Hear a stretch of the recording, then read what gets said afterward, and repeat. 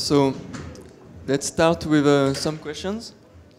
Uh, who is a dev in the room? Please stand. Who is a product person? Things like that. Who is something else? Not of something else. And uh, who already created some dev tools with scripts for Salesforce or for anything?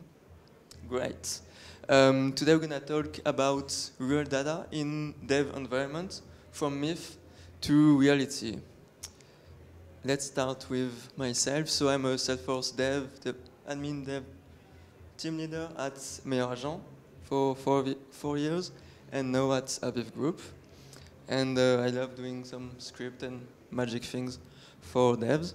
You can have my LinkedIn, my GitHub, everything on my Trailhead profile. So it's like Trailhead slash ID slash this thing. And let's go, let's start with our agenda. We have a lot of things to talk about today, but we'll be a bit quick on some topics, but you'll have all the slides at the end and you can read them and go deeper by yourself on it. Basically, we start um, why Aviv Group needs Salesforce. We'll talk a bit of the context of, of that, and we'll define metadata, data. Then we'll go deeper on our goal and directly on the journey. I add some tips, and then we'll see an example with a demo. And we finish with ideas of improvement and the Q&A. Let's start. It's not center, but um, Aviv Group basically is Meilleur Agent, SeLoger, Immoweb, and Immowelt. So it's about rental agency, houses, apartments in France, Europe, and uh, France, Belgium, and Germany, so Europe. And we use Salesforce to do everything, um, mainly about managing the B2B process, accounts, the price catalog, uh, everything with payment, everything with contracts, invoices. And for that, we have a lot of Salesforce clouds. And bit of context, eight years ago, we had our first uh, Salesforce user created. Five years ago, we had our first developer, which is still here but not in the room because he doesn't want to see me. And uh, three years ago, we had our first deploy with a CI, a Git, and a SFDX. So now we can handle metadata quite well because we kept improving these last three, three years. And we have a lot of things. We have even pull of scratch orgs. But the next challenge is having data in dev environments. But first, we need to talk about metadata and data. If we start with metadata, metadata is data that describe other data. In the Salesforce world, it will be fields, layouts, and even Apex classes and triggers. All that is considered as metadata. It's quite easy to handle. There's a lot of official and community-made tools. Fabien just entered, so he's the one doing quite some tools. And there's a lot of open source tools to, to help you manage that. And it's the main developer work to do Apex classes, triggers. So to conclude, metadata is just an easy cute timed cat now. It's quite easy to handle. In the other end, we have data. Data is money, but right now we don't care. Data is what represents something from the real world into Salesforce via data model. For example, records of accounts in Salesforce represent rental agency from the real world. Data is why we develop things because even if you have the best Apex classes, the fastest flow, if you have no data to, to handle, it's just useless. So data is more an untamed monster because even when you think you're done with that, it still grab you to hell and make you suffer. But uh, we're gonna be like Gandalf today. We're gonna fight back and we're gonna win against this monster. That's that's our goal of our journey. The goal of the journey is that is to import data in a dev environment, and we want to first think why we want that. For example, we can test business use case directly in the Scratch org or in the sandbox you're developing, so you don't have to wait until production to see that you have basic uh, errors. And you can also reproduce errors that you have in production and test multiple scenarios without damaging your production. It's also useful if you want to populate sandbox with a lot of data to train a new sales team. Doing it manually is slow, it doesn't really work, and uh, sometimes it's not even possible, so no one really do that. That's why we want a magic script to do all that for us. And now we're going to talk about our journey. I won't give you a simple solution, uh, one way to go. This journey is more about a reflection of the issue you can face, the way you can solve this issue, and the journey will be specific to everyone. You, you need to path your own road through uh, data. If we start uh, this journey, we have, have some disclaimer to say. First, the language of your script doesn't matter. Just use what you love, what you want to use, anything. Be creative or not. Do what you want. And I need to define two types of data. The first type is the referential data. It's the data that we import at the creation, and that doesn't change much. For example, it will be um, the product catalog or the price um, configuration or even a geographic referential it's not very changing because the very changing one is the second type of data. It is business data. That's the one we want to import on the fly. That's specific to a use case and with links to other business data and referential data. For example, it will be accounts, contract opportunities, everything we want to import that's specific. And that's what we focus on. One little technical consideration, um, import, export are mainly based on Texei plugin that we augmented with uh, our use case. So thanks Fabien for working, for a strong collaboration on this plugin to improve it. And thanks to this plugin, there's a lot of things you don't have to worry on your script because it's handled by the plugin. For example, links between record of the same export doesn't have to worry about it. Don't have to worry about a specific order to import. You just specify the order and then it's done. Don't have to worry about sorting things or anything. And also you can exclude fields easily and set a dynamic ID per object easily. We'll talk about dynamic ID in some minutes. And these last three are in the data plan. Data plan is like the config file for uh, the import-export plugin. Two more things. We'll talk about source org this is where the data is, and the target org is where we want to import the data. Yes, data model. There's not that much, that many objects in it, but a lot of relationships, a lot of links, a lot of things on it. So it looks complex, but I want to show you that there's three main data here. In green, we have the referential data, that's geographic referential or products. In blue, we have the entry point.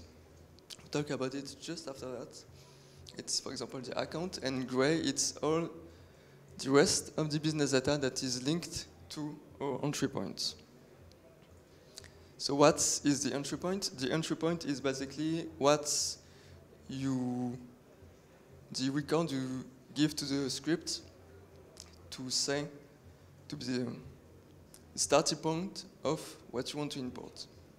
For example, in our case, it's accounts. The idea is to import yes. idea is to import everything related to this to this entry point using parent to child relationship and lookup relationship, and also, if possible, the entire hierarchy of the entry point we'll call a cluster every record we want to import. It's just.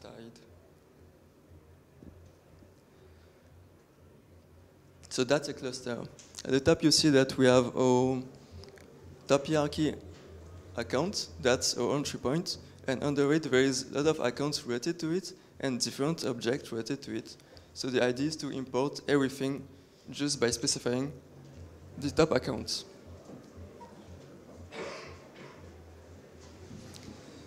Dynamic ID. I told you this word previously. What is it? It's basically just a, concatenation of fields of a record that make it unique. Because in production, you have, for example, an account with a lot of fields and a Salesforce ID, which is unique. But if you import this account in a sandbox, every field will stay the same, but the Salesforce ID will change because it's not kept. So we want a way to still be able to refer to this account even without the Salesforce ID.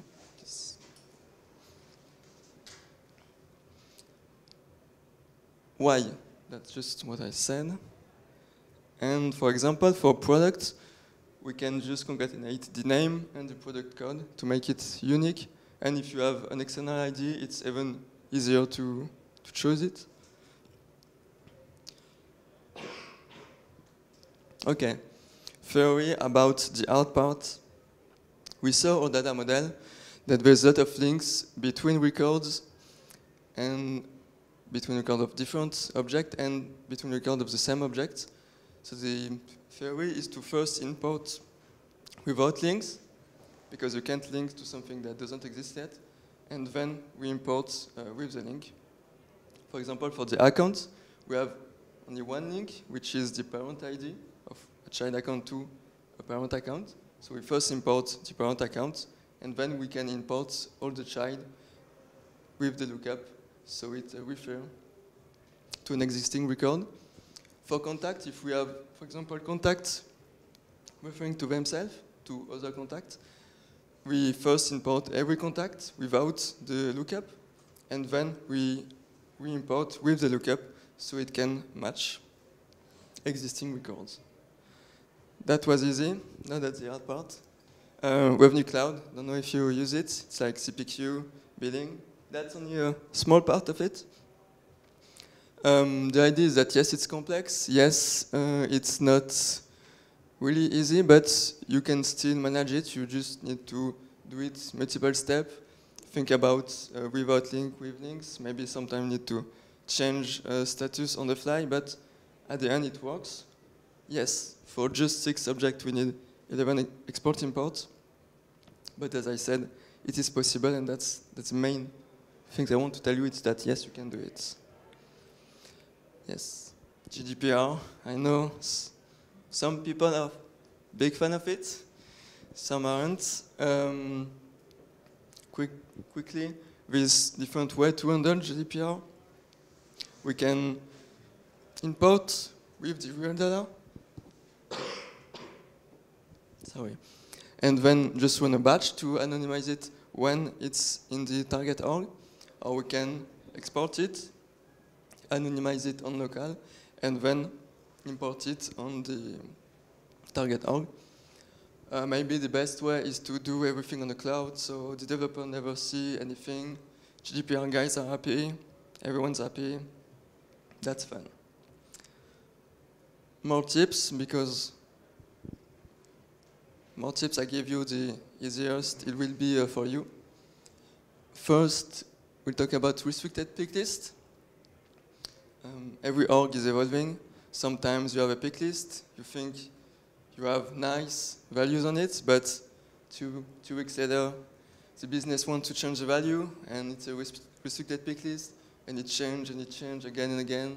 Some unrestricted pick lists become restricted. So you can't import um, record with a value of a pick list not allowed. Not allowed. So for that, we developed two little uh, plugins to unrestrict every restricted pick list and then restrict them back after we imported everything. Another thing I want to, to tell you is that sometimes you can't create record with specific value and specific field. For example, you can't order, you can, you can create order with status activated. So the idea is just to dynamically change it to something allowed, and then to update it to the value you want. And last but not least, um, audit fields. You may know that you can specify audit field when you insert a record if you have a checkbox on your profile saying that yes, you can do it. So you can do it. But don't forget to exclude this audit field if you update uh, this record so you don't try to update them because no one is allowed to update audit fields. Yes, example of scripts step by step. I talked about the data plan, and now you're gonna see how it looks like and how, it how easy it is. First, I said you can specify excluded fields. You can specify excluded field for every record or for specific records. For example, that's the most of the audit fields that I never want to import because I never care about it, and maybe some field that exist in multiple uh, multiple objects that you never want because it's useless. We talked about dynamic ID, and the thing is just you have to specify the object and the field you want to concatenate to create your dynamic ID. That's, that's it, nothing, nothing more to, to specify. Really easy. And that's how you configure which record, which object you want to export and import, and the order of it, and if you want to add some filter to it. For example, we said at first we want to import accounts that are the top hierarchy, so we can take only parent ID, account with parent ID equal null, and then we take with parent ID different of null, so we have every child accounts. For contact, as I said, uh, first we can exclude uh, the lookup to other contact, and then don't exclude this lookup, but only exclude the create date um, audit field. And now we're gonna, next slide will be very quick. You'll be able to see them later, but the main idea is that there's three parts of the script. First, a preparation part, then an export part, and at the end we finish with the famous import part. It's basically just using every tips I gave before in, a, in order and with your specific data model. Now that's the fun. Let's, if it works. I don't know where I am. Let's watch the demo.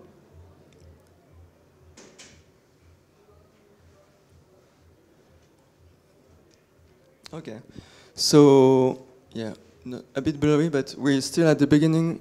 We run script, we call it with our ID, an account ID. Then we're starting the preparation part, so we check our connection to target org and source org. And now we're just um, bypassing things. And here we have started already to export every object we specified in the data plan. So you can see here that the output of the script, that's all the file that we created on the local computer. And at the top, it's a screen I go through when we when it run. So export is finished. We modified a local file dynamically to change uh, status of the order. And now we're starting to import it again. The total video was like six minutes. I speed up a bit for the presentation, but generally it's just take between five and 10 minutes to import lots of accounts and lot, lots of uh, record related to it. So it's pretty fast, just time to short coffee break and uh, you're done, you have all the data in, a, in your production, and in your sound, data from production in your sandbox. The importing is finished. And now we are starting to restrict back pick list and stop bypasses. And we launch the GDPR batch to make GDPR people happy. So just finishing to stop bypasses. And we are when assigning permission set and things. And now it's finished. So it was pretty quick. If you continue, I want to tell you that it's always possible to improve your script by using it, by being in a team that, that use it. Here's some example of what I can do to still improve it. But the main idea is just, there's no limit, just type, have fun, and keep improving everything. I've talked way too much, so now it's, uh, it's your time to talk, and uh, I think you need to hands up so you have a, a mic and everything. Yeah, I think the, we need a mic on the front row.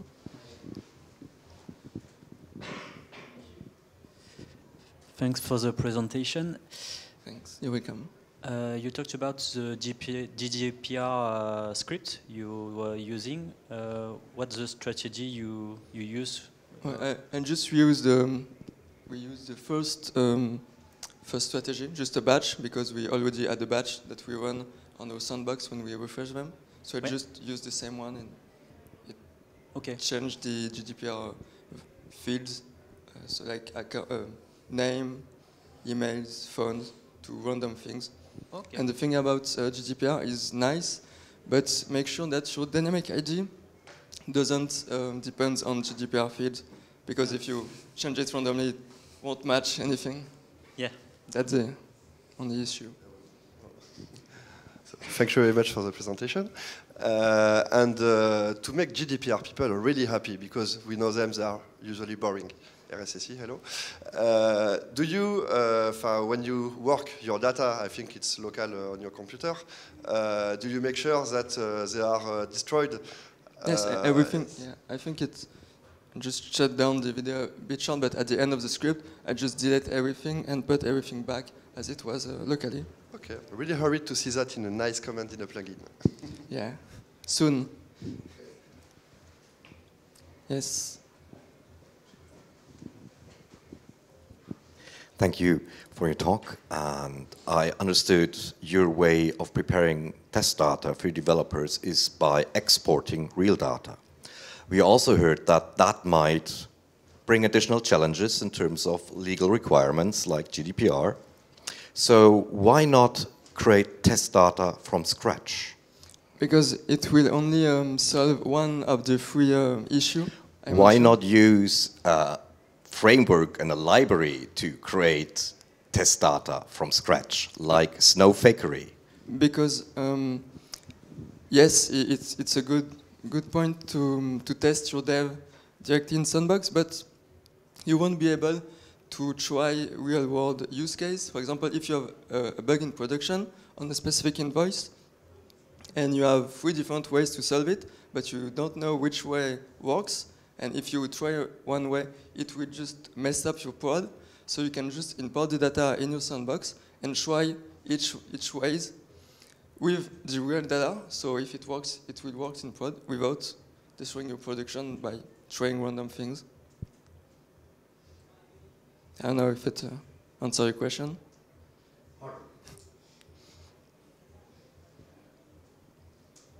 Is there any more questions? Yes. I think you, you need a mic.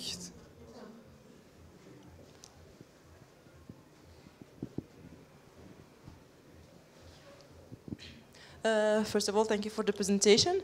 Um, I just one uh, question about uh, you know the dynamic IDs that you're building. Um, uh, are they persisted? I mean, uh, uh, they are persisted in a custom field that you create on the objects for that purpose, or uh, they are uh, just They dynamic? are, they are dynamic and totally magic. It doesn't impact your data model. It's never uh, in any Salesforce org. It just locally on the script, in the, the logic of the script and of the plugin to import things. So we, we don't need to create any fields on uh, any objects or anything. It's not a dump ID. It's really dynamic ID on the fly. Okay, so you, when you mean by in the fly, uh, they are persisted persisted in the um, the file that you're generating uh, in Eh. the in the way uh, in your process of importing and exporting things. Yes, it's only specified and persistent in the data plan. So in the data plan, you specify exactly which field you want to concatenate to make the dynamic ID. But uh, that's it. You never import it physically. Okay, thank you. That was so clear. All right. Thank you very much for attending this presentation. I have one last thing to say. Yes, it is. So again, that's my link if you want to contact me, ask me question or anything.